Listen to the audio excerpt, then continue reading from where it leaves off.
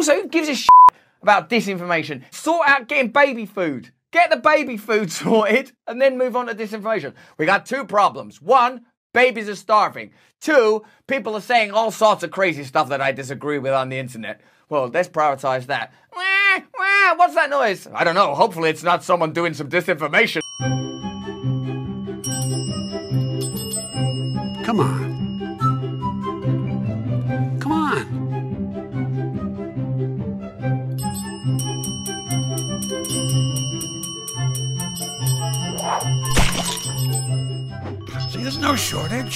Disinformation. What's going on, everyone? Jeremy here from the Quartering. I hope you're having a wonderful, wonderful day. Uh, I've been watching more and more of uh, Russell Brand here on YouTube.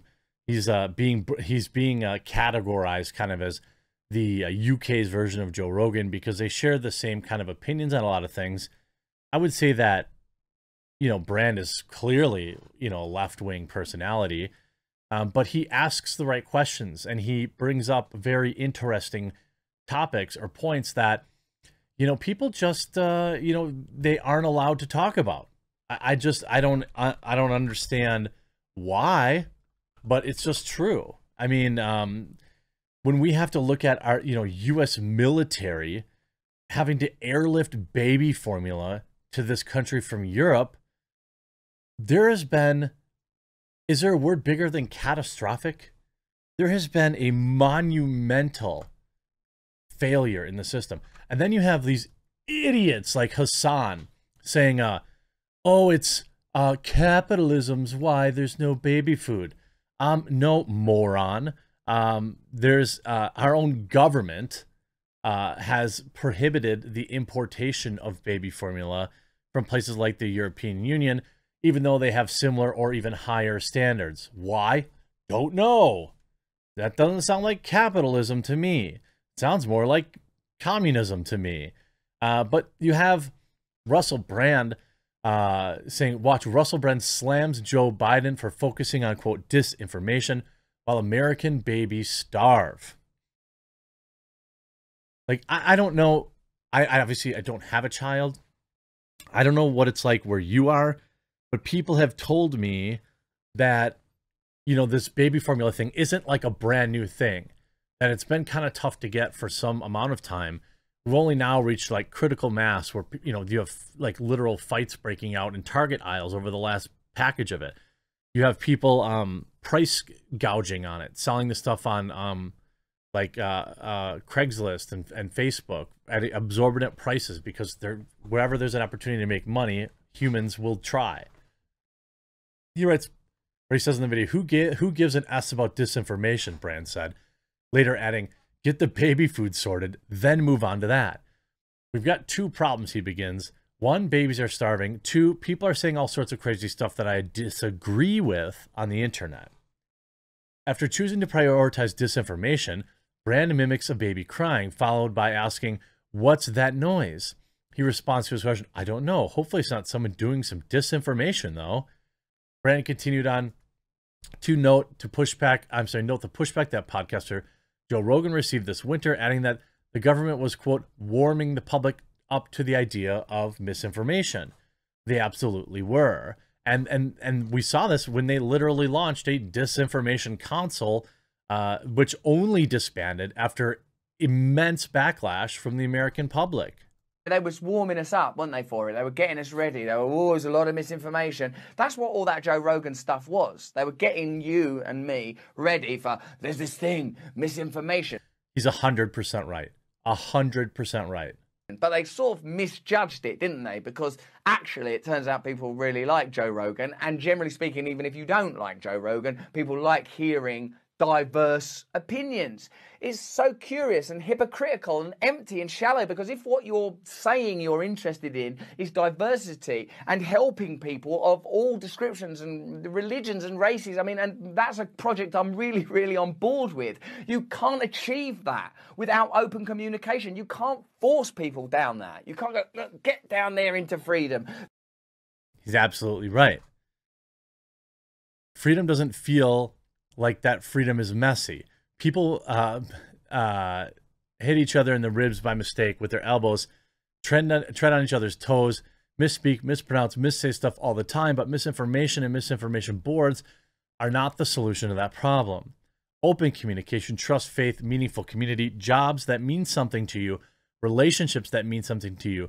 When people feel more fulfilled and connected, we might communicate with each other a little better. This is a kind of a core tenet of what Brand talks about. I, I, I, I would subscribe to that idea. The fact that it's objective is of not hurting one another is a beautiful objective. But why should would we hurt each other if we can avoid it? But I simply do not trust that that has ever been the objective of the United States government. It doesn't make sense when you look back, when you look at the behavior. Brand continued on to note tyranny is occurring now through bureaucracy, technocracy, and other means. Tyranny looks like what is happening now. That's what tyranny is. The tyranny of t- technocracy, bureaucratic language, and a sort of nimble toe through linguistics that I can't see how that helps anybody. Reducing ordinary people's freedoms, facilitating more and more corporate power, giving more regulatory authority to the government.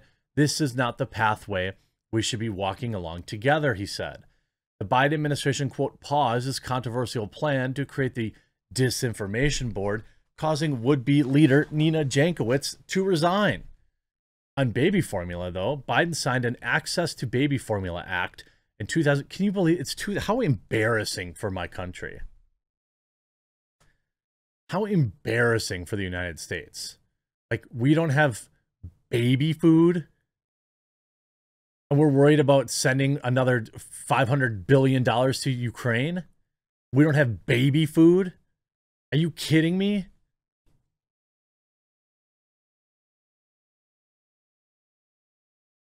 Which allows greater access to baby formula production and lifts restriction on the industry to spur production. Another 70,000 pounds of formula. I, that, I think that that's written to make it sound like a lot, but that doesn't seem like a lot. It seems like a day's worth for the amount of babies that already need it. I don't know. I guess I don't know how much formula gets consumed, but it doesn't seem like much. It's destined for pharmacies and pharmacies and healthcare facilities such as hospitals, clinics, and doctors' offices exclusively as a part of the administration's $28 million initiative to fight the shortage. 28 million? Is that all you had left after sending 50 billion to your proxy war? Like that's all is that all you had left? I mean, the whole ba- this is embarrassing that you have our the United States military having to procure baby formula. Like I can't I can't emphasize that fact enough. The Biden administration, which has struggled to address a nationwide shortage of formula, particularly hypoallergenic varieties, have dubbed the effort Operation Fly Formula. The crisis follows the closure of the nation's largest domestic manufacturing plant in Michigan in February due to safety concerns. But I've also read reports that that place has fixed whatever issues that it had, and the, the like the the FDA is not reopening it. The White House had 132 pallets of Nestle Health Science Alfamino Infant and Alfamino Junior were set to leave Ramstein Air Base in Germany for the U.S. for an additional 114 pallets of Gerber Good Start were on the way. About 1.5 million eight ounce bottles of the three formulas, which are hypoallergenic for children with cow's milk protein allergy, are expected to arrive this week.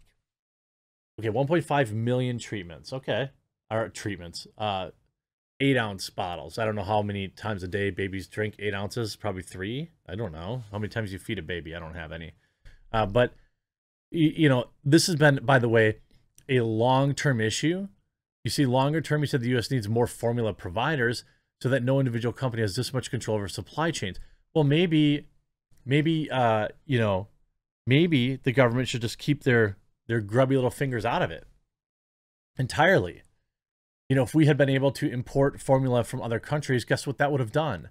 That would have forced the ones here in the United States to be better, wouldn't it? If people are going to Europe or other nations to buy their products, then they're not buying them from here in uh, the domestic factories. It could have, like, the problem could have resolved itself in some ways. But, like, that's, I mean, that's how capitalism works.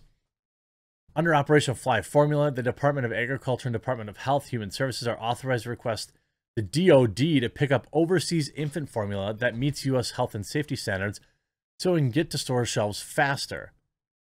I, I don't even understand how this happened. Uh, you know, and I'm happy to see people like Russell Brand, you know, just building up a, a great following. Uh, and if you're new to my channel, by the way, there's a red subscribe button down below. If you can, uh, please give that a click. I'd love to have you join uh, the the family here. It makes finding my videos easier, and it lets YouTube know that, uh, well, at least somebody's interested. Hope you enjoyed this video. We'll talk to you again real soon.